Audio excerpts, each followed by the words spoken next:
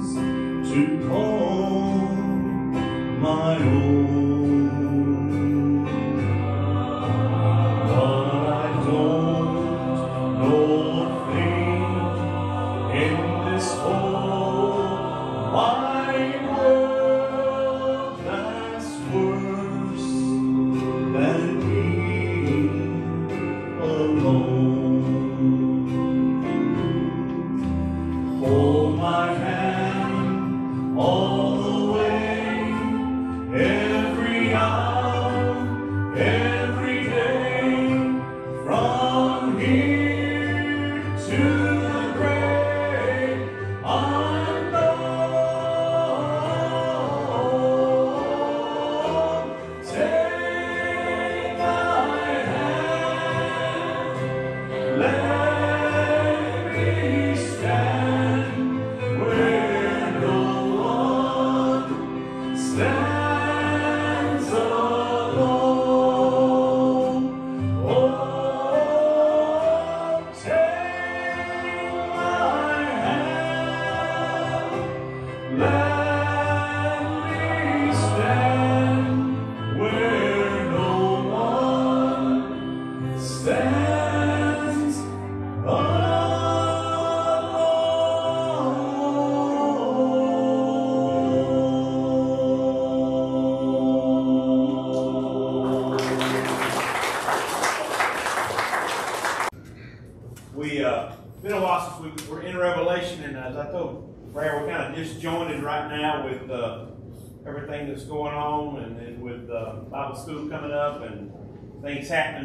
wanted to say Revelation. I didn't want to keep just doing it and then wait a couple weeks before you pick it back up again. So kind of stay in line with where we're going.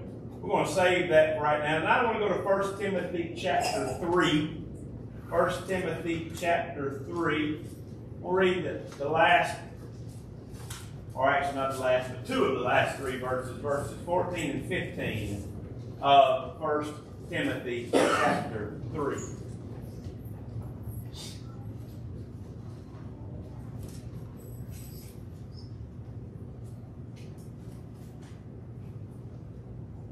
Paul writing to Timothy says, These things write I unto thee, hoping to come unto thee shortly. But if I tarry long, thou mayest know how thou oughtest to behave thyself in the house of God which is the church of the living God, the pillar and ground of the truth. Let's pray. Well, again, we praise you for this night together, for a chance again to be in your house to worship you. We praise you for this word tonight as we open it in front of us and pray, Lord, your Holy Spirit would guide us in it. Lord, that uh, we would take this and, and love it, and take this and live it. We would allow it to work and change us in our hearts and work to the outside what you've already done on the inside, that we might be a living example to all those that we come in contact with. And that, Lord, we might shine out the glorious gospel of Jesus Christ to this lost and dying world. We love and praise you in Jesus' name. Amen. Well, 1 Timothy chapter 3, if you were to go back and begin reading the beginning of it, you would recognize it. It's uh, the qualifications of a, a bishop or an overseer or a pastor in the first seven verses, and then verses 8 through 13, you get the qualifications of a deacon. Uh, if you come to Sunday school and you're here when we go through 1 Timothy or through Titus when he covers it there, you remember that. Remember been to ordination service, those verses get used uh, in, in, every ordination service that you've ever been to. But it, those are quite uh, uh, familiar verses, but after having said all of that, Paul tells this to Timothy in our text. And he's, he's written these things, not just chapter 3, but everything he's written in 1 Timothy up to this point.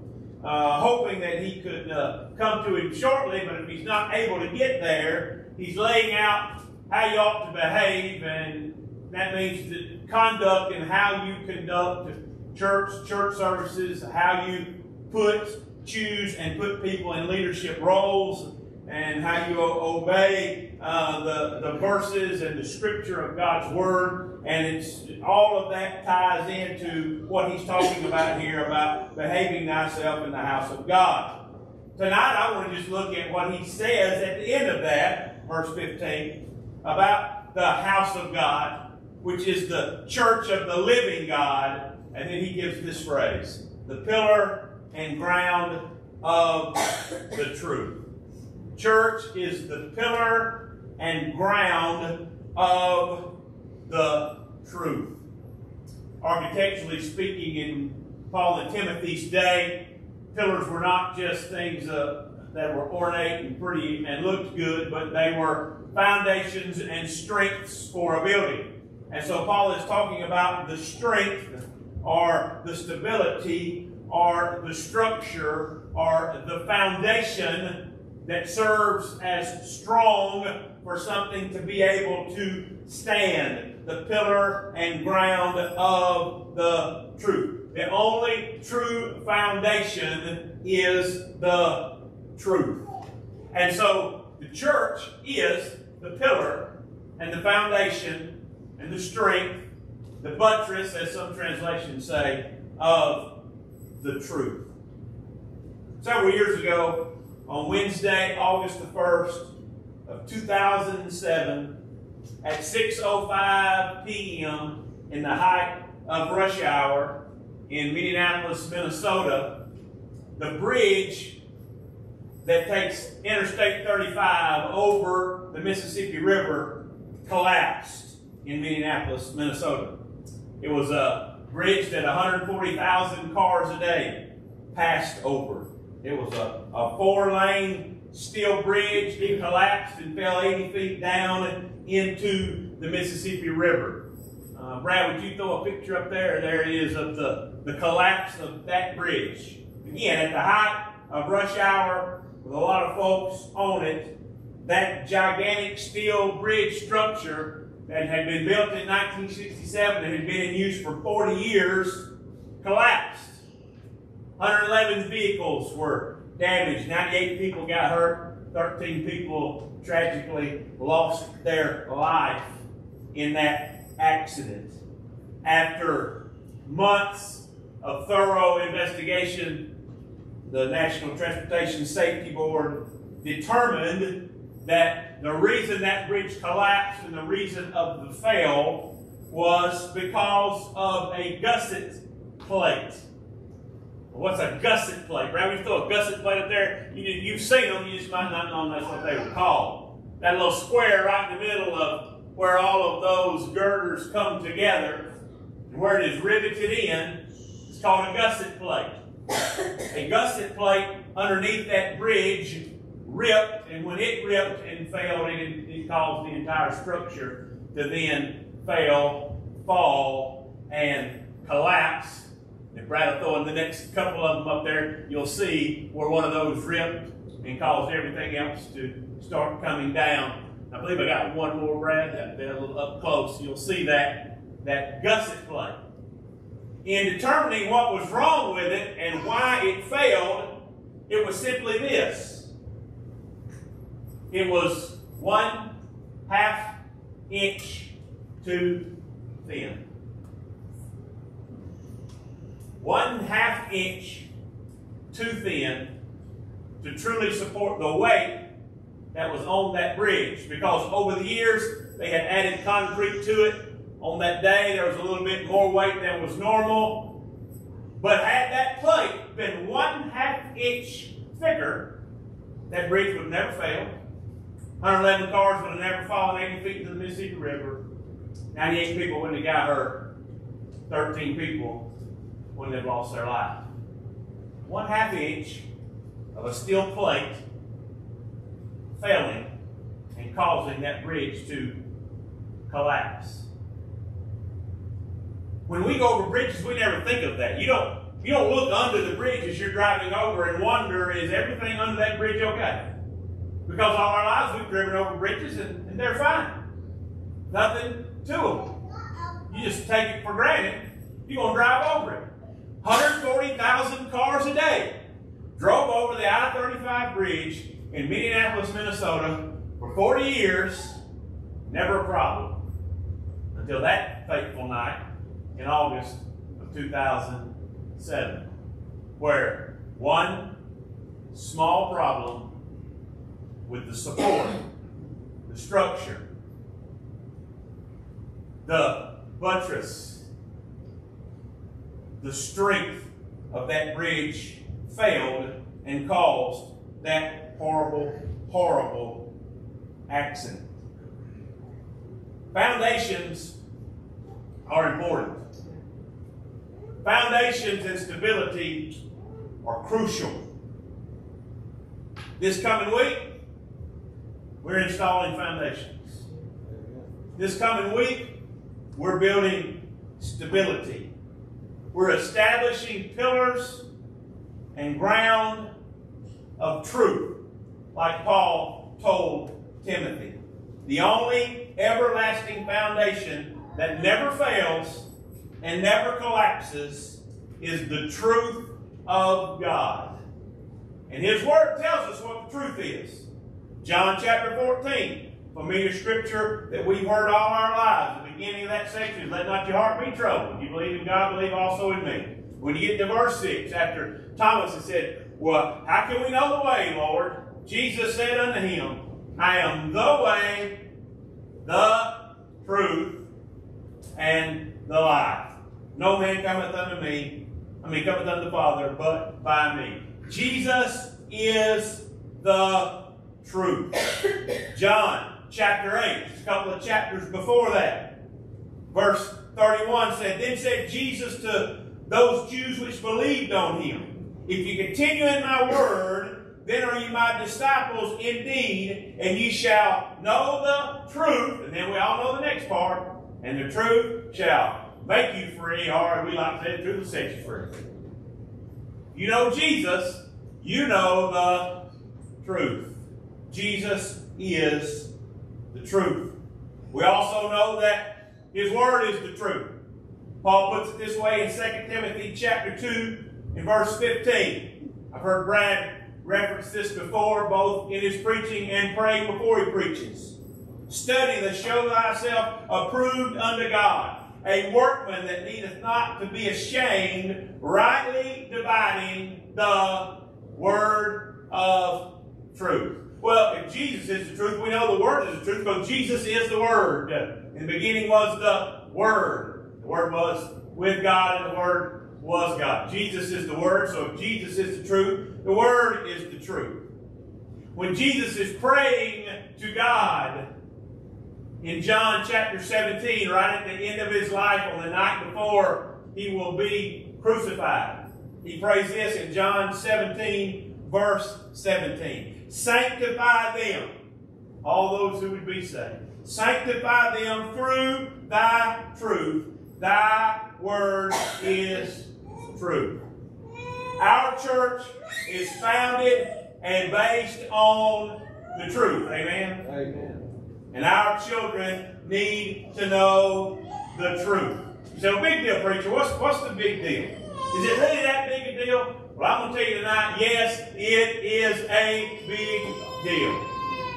Preaching the truth, establishing the truth, creating a firm foundation, creating a pillar, creating a buttress, creating a true grounding for our kids. Because the world today hates the truth. Right. It cannot stand the truth because the devil hates the truth and the devil's in charge of this world. Right. The push of the educated elite over the last 150 years has been to do away with the truth.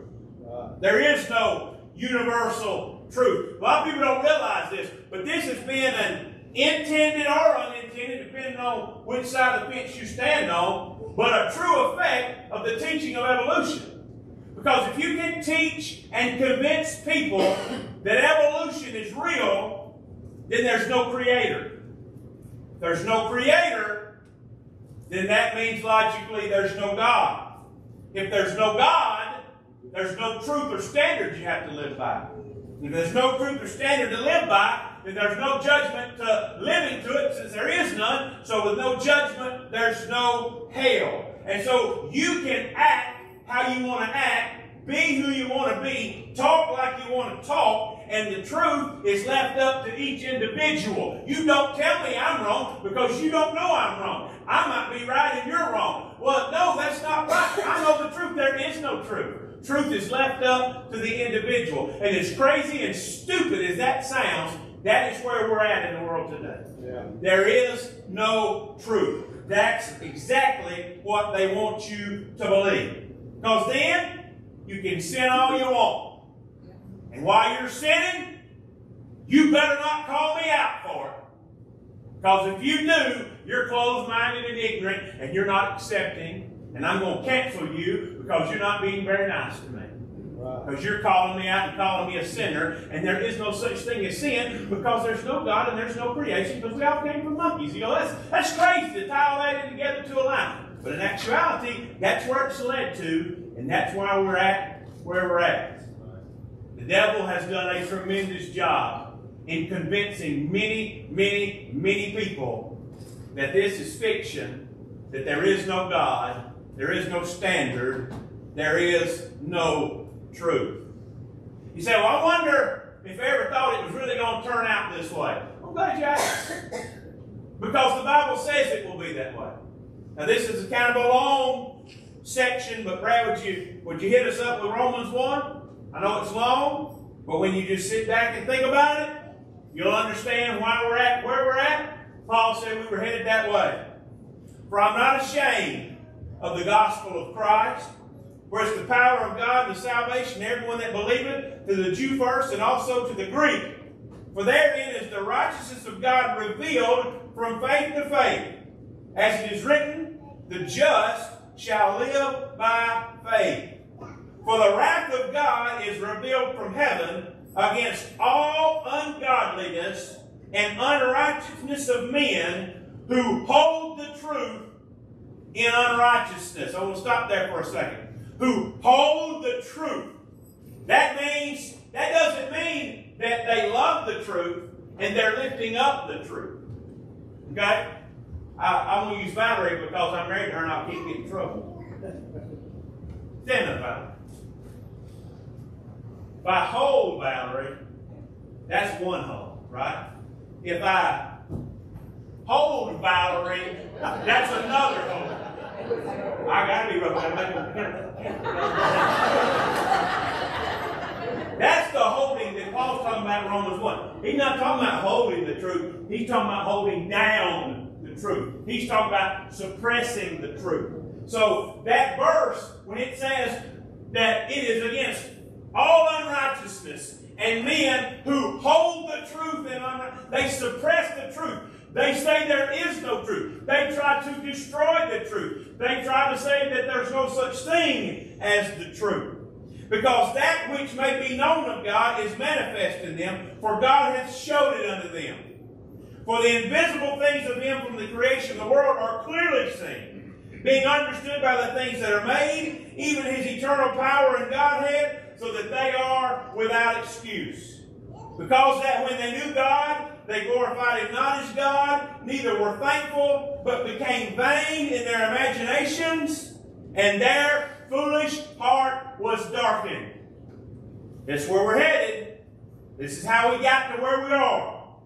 Professing themselves to be wise, they became fools.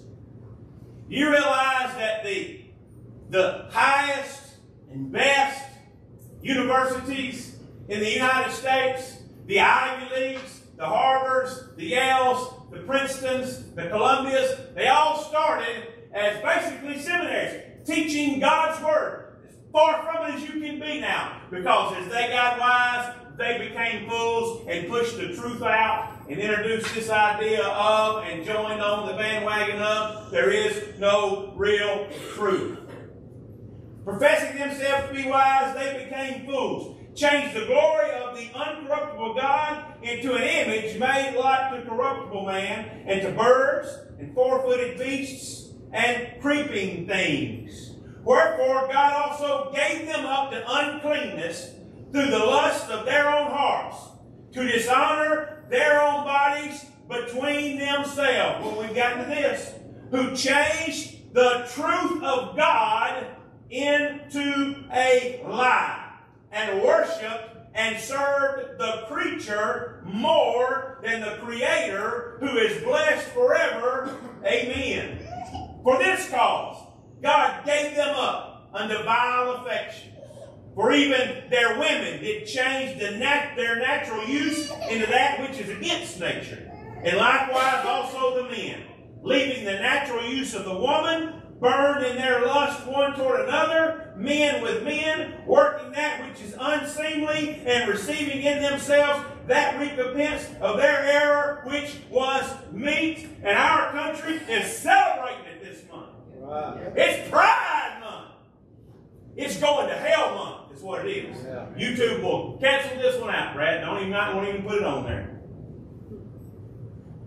And even as they did not like to retain God in their knowledge, God gave them over to a reprobate mind to do those things which are not convenient, being filled with all unrighteousness, fornication, wickedness, covetousness, maliciousness, full of envy, murder, debate, deceit, malignity, whisperers, backbiters, haters of God, despiteful, proud, boasters, inventors of evil things, disobedient to parents, without understanding, covenant breakers, without natural affection, implacable, unmerciful, who knowing the judgment of God, that they which commit such things are worthy of death, not only do the same, but have pleasure in them that do them. Yeah. That's how we got where we're at. Paul said it almost 2,000 years ago when he wrote it down through the Holy Spirit in Romans chapter 1. And how did it get to this point? It got to this point from men holding the truth, suppressing the truth, not holding the truth, holding the truth, and changing the truth of God into a lie. This coming week is important because all our kids hear all the time from this world is lie, lie, lie. Kind of like we heard this morning video. Die, die, die. Lie, lie, lie. That's all they hear. It's time for them to hear the truth. And they're not going to get the truth out there. They're not. And unfortunately, they're not always going to get the truth inside a church. But they will get the truth inside the church. The church of the living God. That has a firm foundation that has the truth, that has, as Paul told Timothy, pillars and ground in the truth. When you allow no truth, you got no foundation. You got no pillar. You got nothing good. What you got is, Brad, would you throw one more picture up there of that torn up bridge? When there ain't any truth, that's what you get. And that's what happens. And folks, that's our world. On the right side. We need our church to be that side over on the left side. It's imperative that truth goes out this week. That we pray for every teacher, for every helper.